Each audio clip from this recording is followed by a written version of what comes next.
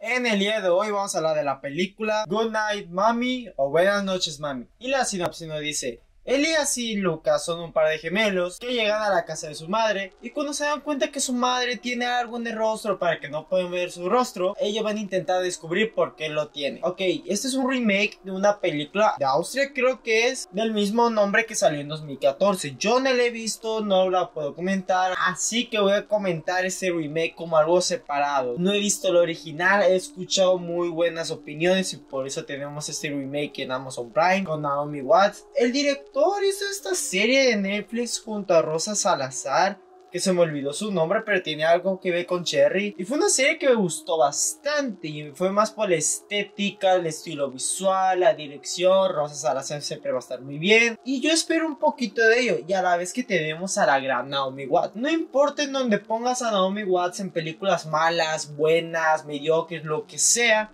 va a hacer un gran trabajo Naomi Watts, o al menos va a intentar hacerlo. Y les voy a decir lo siguiente. Goodbye Mommy de Amazon Prime es una decepción muy grande. No esperaba nada de esta película ni nada de ello, pero teniendo este talento de director y a la vez a la actriz junto, que es un concepto algo interesante cuando la terminen de ver. Obviamente, como lo he dicho, yo no he visto la original, pero yo sé que va a haber gente en los comentarios que van a decir es que la original lo hizo mucho mejor. Y es donde me enfada hasta cierto punto y por eso me decepcionó esta versión de Amazon Prime. Pero antes de irnos a lo malo, porque hay muchas cosas malas que tengo que decir de esta versión, voy a decir las cosas positivas y son muy pocas. Naomi Watts como madre es lo mejor que tiene la película. Realmente se nota que Naomi Watts está entregándose el 100% a este proyecto. Naomi Watts no te de esta madre que hasta cierto punto puede ser cosas malas a sus hijos, que puede ser un ente maligno, puede ser algo. O sea, Naomi Watts no cumple en ese apartado de terrorífico, pues, pero al menos Naomi Watts le da hasta cierto punto emoción a su personaje. También le agrega un poco de carisma, le agrega un poco de química con los muchachos. Hasta cierto punto me gustó la manera como se expresa el personaje. Junto a ella la manera como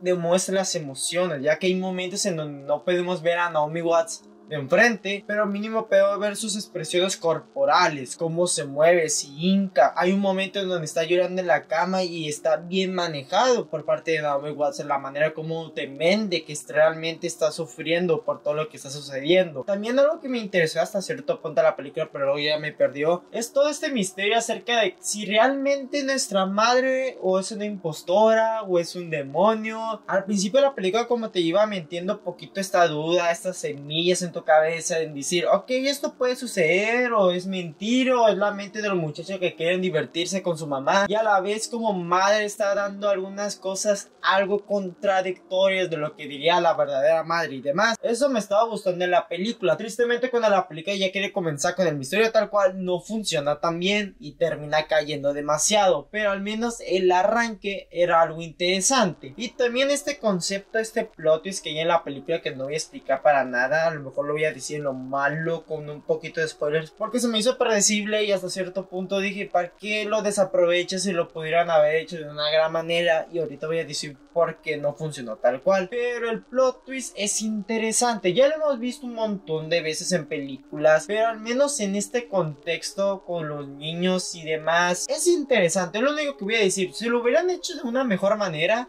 y si no hubiera sido hasta cierto punto una calca en diálogos y demás, porque he visto algunas opiniones y se nota lenguas que técnicamente tradujeron los diálogos de la original y la pusieron en esta versión de Amazon Prime, pero cambiando algunas cositas, posiblemente hubiera sido un gran plot twist y me hubiera dañado emocionalmente más fuerte. Pero tristemente tenemos que ir rápidamente a lo malo y son muchas cosas. Número uno, esta película dura una hora y media y casi me quedaba dormido. Es aburridísima, aburridísima. Como había mencionado, el misterio tal cual fue interesante en su arranque, pero ya después de su arranque, la película cae en picada brutalmente porque la película te telegrafea demasiado muchas cosas como el plot twist. El plot twist te lo dicen en el primer minuto de la película. Es sumamente obvio es sumamente ridículo hasta cierto punto como la película quiere como que engañarte para ver si esto es real o mentira pero la película te lo remarca demasiado al inicio que pierde toda la chispa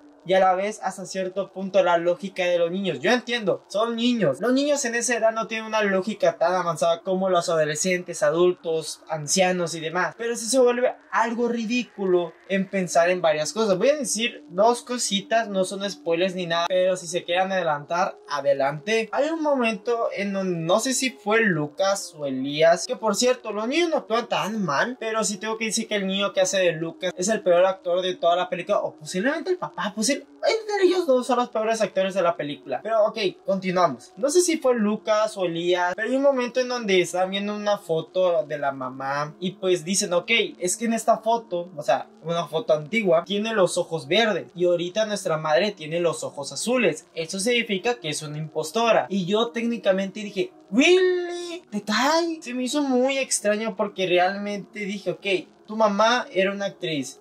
Obviamente esto es como un photocall, o sea, cuando te van a tomar las fotos para la agencia, para tu currículum y demás. Y es como, nunca pensaron que iba a utilizar pupilentes y era sumamente obvio porque se nota completamente que son pupilentes y a la vez dentro de todo es como a ver niños ustedes cuando eran más pequeños miraban a su mamá con sus ojos azules no las miraban con los ojos verdes no tiene el sentido de por qué piensan que su mamá es una impostora. Y hay otro momento y cuando están cocinando sobre lo de las canciones y demás de por qué la mamá no le canta la canción de cuna y es como, güey, ya están grandes. O sea, también es como, ya compórtese un poquito y a la vez, dentro de todo, es donde el plot y ya te está dando guiños de por qué la mamá no les canta la canción. Y voy a decir esto rápido, es que se trata de que Lucas murió años atrás por un accidente que hubo y que lo provocó Elías cuando lo disparó accidentadamente. Era sumamente obvio el plot twist, ya que la mamá no quiere cantar la canción de You Mama